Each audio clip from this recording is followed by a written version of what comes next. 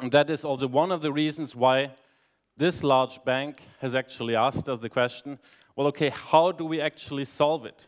What is a strategy and design approach to bring customers online, to engage with them, to sell something online, to, because they have to make the transformation from an offline organization to a digital one, because customers simply don't go there anymore.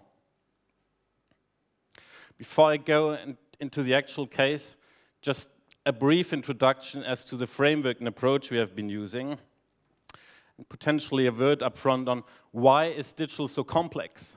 And you have to get all these disciplines together from strategy to innovation to product to marketing to the experience to technology to requirements engineering.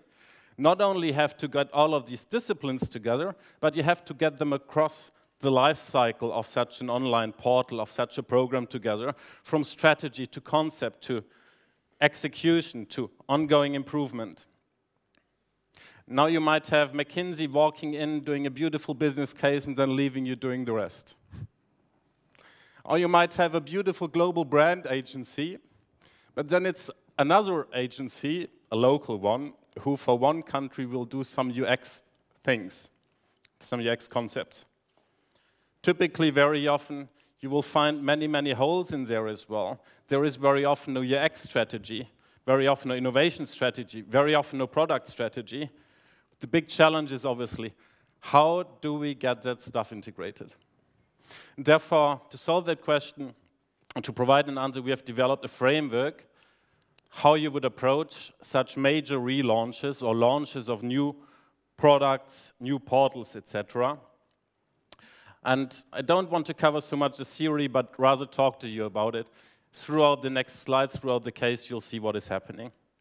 So how we approached it, we had a first six-week phase, not to get the details right, but basically throw the stone in the right direction to get the overarching guidelines correct for the strategy that this organization would need to put in place. And after it, once we got the big guidelines in place, we went onto a longer term strategy track that would actually start detailing out that strategy and explain really what it means. In parallel, the execution already started on some details. Um, yeah, and we are now finally not far away from the launch. But let's talk about the first phase. So, phase of six weeks, where we were five people basically, plus some people from the customer, and looked at the big picture. Where we really started was in segmentation, understanding who are these customer groups. And I guess the biggest learning we have had there, and the biggest thing, yeah, I, would propose to really look into is that segmentation is fundamentally different if you look at online segmentation and branch segmentation and overall segmentation. I mean, how important is the group of wealth people, yeah, wealth management, customers for a bank? It's super important. But for offline, they are extremely important, but online, they are less important. Because regardless if they use online or offline, the bank will just do anything it takes to keep these customers happy. However, for the broad masses of retail customers who might have an income of, say, 1,500 euros per month and who might be working at a supermarket or something, the bank just, it's not profitable to keep these people in a branch. So for online, they are supremely important, but for offline, they're just not as important. The bank won't operate successfully. Therefore, one of the big objectives here in this case was to bring those customers, retail customers, for instance, online. So big learning here, divide your segmentation or the priority of each segment between online and offline. Then we came up with data-driven personas.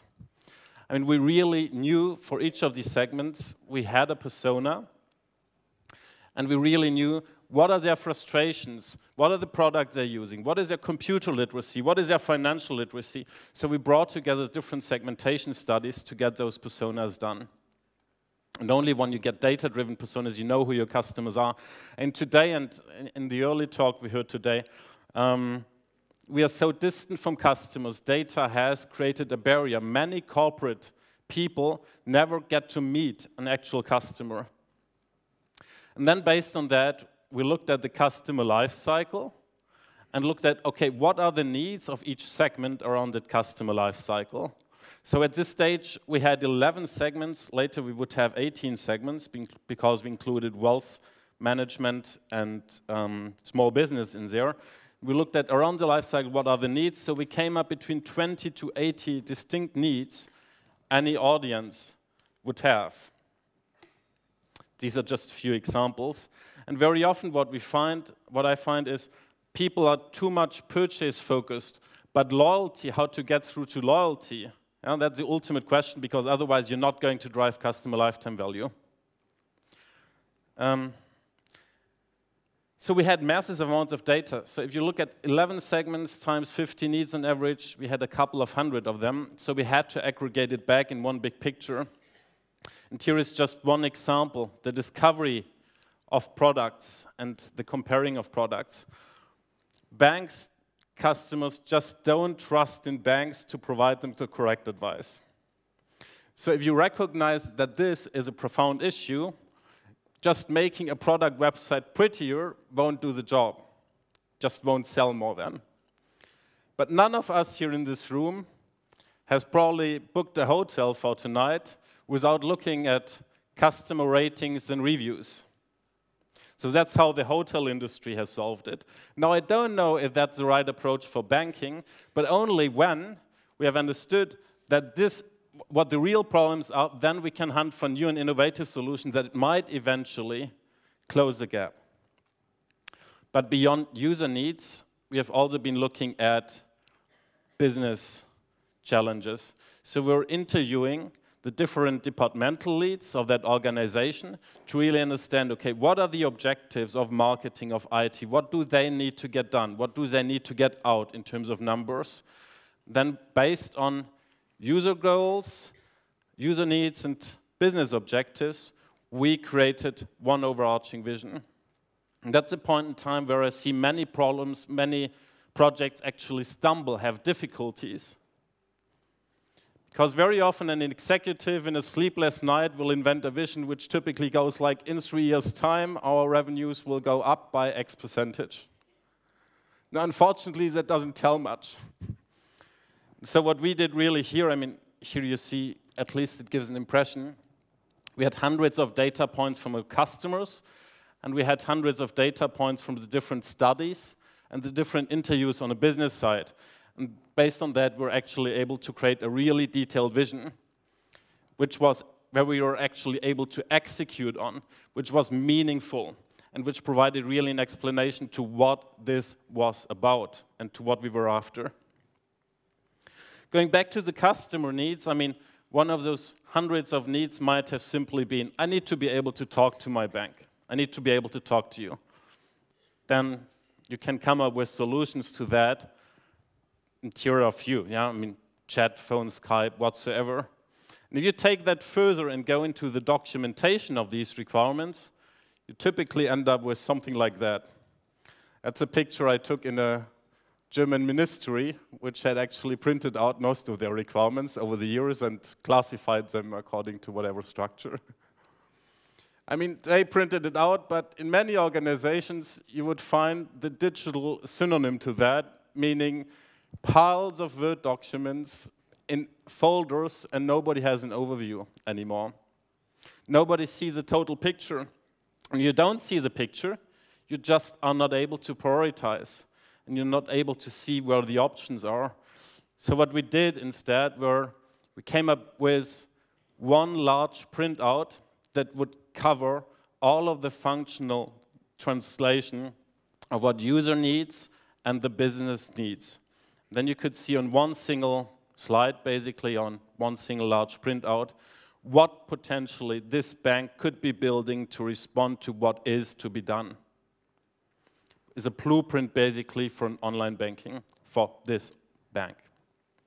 That is broadly what we covered in the first six weeks. So we looked into who are our customers, who is important in there for the digital channel specifically, what are their needs, what is the business needs, what are the business needs, come up with a vision that actually does make sense, and come up with a first translation as to what this could mean. In the second phase, the longer term strategy, where we really cooked off, we looked again at this picture from different dimensions. From a user perspective, where can we make the biggest, impact for our customers? From a business perspective, um, where are the biggest levers on the business case? How can we, where do we most need to change our service model?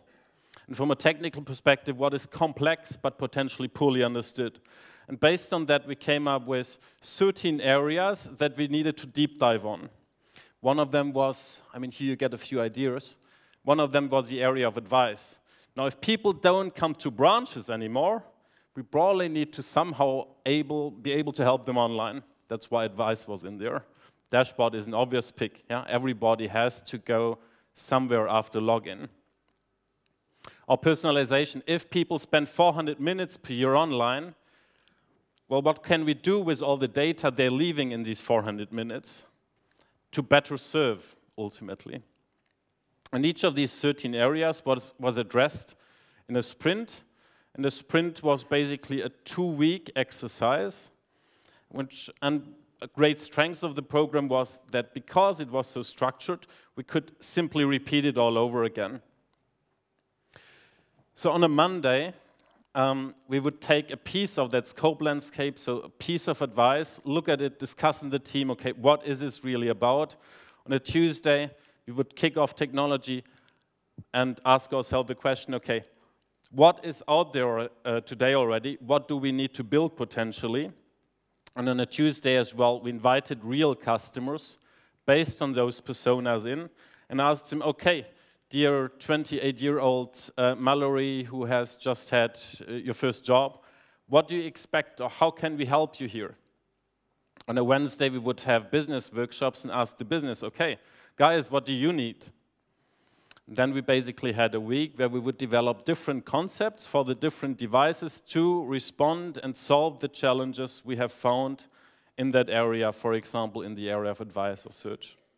Based on that, we could deviate scope definitions, and we are looking into the business context again to say, okay, how do we measure success, for instance? And back on a Friday or Thursday or Friday of the second week, we re-invited the customers in and asked, hey, here is at least a paper prototype or something clickable but very basic. Does this solve your need? Does this, is this appealing to you? And we video filmed um, those sessions. That's how this sprint worked.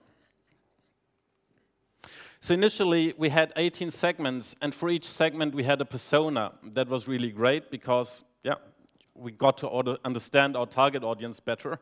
But you just can't design for 18 different segments. That's way too many. So we did a look at as to how they would behave on different axes. So what level of income do they have? What is their financial literacy, their computer literacy, the level of loyalty towards the bank, um, the branch dependence, etc. And based on that, we ensured that these customers, that we would have a customer basically on each extreme and in the middle as well. And that way we managed to regroup down from 18 segments down to five. Now here is an unusually complex cross-channel custom experience journey. And that is about potentially one of the margin highest products of the bank, um, housing, credit, mortgage. Basically, we looked at, okay, how does this work out today? How does this serve, how does a bank serve today its customers for this very key product? How well do they support the customer or not support the customer, but where the customer is expecting actually that level of support? So we looked at customer expectations in that context, needs, etc. Looked where the organization is today, and then went on designed the target journeys against which we then mapped individual screens, individual solutions. And importantly, the journey did was not only online, but really from the beginning. So we looked at okay, what house can I afford was part of the journey, for instance. So that is an example of a wireframe that we got to do in these two-level sprints. Out of these, we have probably done a couple of hundred. And we have documented the key requirements that this would entail as well. From a business perspective, um, we looked at the key questions like what is the strategic rationale? Why would you do advice actually online as opposed to over the phone or send a, an advisor out there? I mean, does it make sense? What are the value drivers? I mean, where are the levers? How do I measure success? What are the key business capabilities? I mean, do I need to display product adverts or whatsoever in there? And basically, that led us to the point where the scope landscape got greatly refined. We got a way deeper understanding of what is to be built. But what it didn't tell us yet was how important is something, because obviously you can't realize that picture um, in the next six months. Yeah? Way too big. So we went through an exercise of prioritization in which we looked at each and every individual functionality so for example, where is my next branch? Being able to find that on your mobile phone. And ask ourselves, okay, how important would that be for Mallory? And for Mallory, it's probably important. I mean, she's an online person, but some other people might not yet have smartphones. So we rated really each functionality from a customer perspective. Although from a business perspective, what is the impact on the number of customers, the impact on number, the utilization rate? Um, the impact on the different business centers. I mean, will that help sell more insurances, more whatever contracts? And last but not least, all that organize, IT organizational complexity, how difficult is it basically to make that happen? These were the angles which we used for prioritization, and that allowed us ultimately to give some color to this picture. And the darker the green, the more value there is in there. The lighter, yeah, the less value. If you look in parallel at technology and what is out there today and what can meaningful be built in the next 18 months, you get to the point where you can say, okay, that is now the picture with which we're going to market with. That's what we're going to have in 18 months. Then the last important question we needed to answer, okay, now we know what we have when we will go live, and we know the target state, but now we have to build a roadmap. And obviously, the prioritization really helped us here, um, which allowed us to build a detailed roadmap. We're differentiated by product domain, so we would divide it in personal finance management, dashboard, daily banking, I mean, across the scale. In need three months releases, we had a roadmap figured out that would make yeah, an in-between between quick wins, and doing strategically the right thing. That was the art of building that roadmap. There is a lot of value in that roadmap because ultimately, and unfortunately, I mean, you may wonder, does it make sense to build a long-term roadmap in a world that is moving that fast? And I would answer, it's important to give it a shot because unfortunately the IT infrastructure, particularly of dinosaurs like large banks, they can't turn their IT around like that. A portal typically for the large organizations in Europe lasts for eight and a half years at this point in time. In banks, it's often longer. So you have to foresee how your technological architecture can evolve. That's why there is an enormous value in these roadmaps, because ultimately it gives you a first feeling how you're likely to spend the next couple of hundred of millions. That's the value that is behind this picture. Ultimately, these concepts got documented in a small book, a user experience flipbook, we called it, where the key concepts would be detailed out and which we handed throughout the organizations to key stakeholders, that everybody can get a feeling for how this platform will likely look in three years from today. That is how we managed next to that vision, that was a second important deliverable, to really illustrate, okay, what will be there, what are we up for?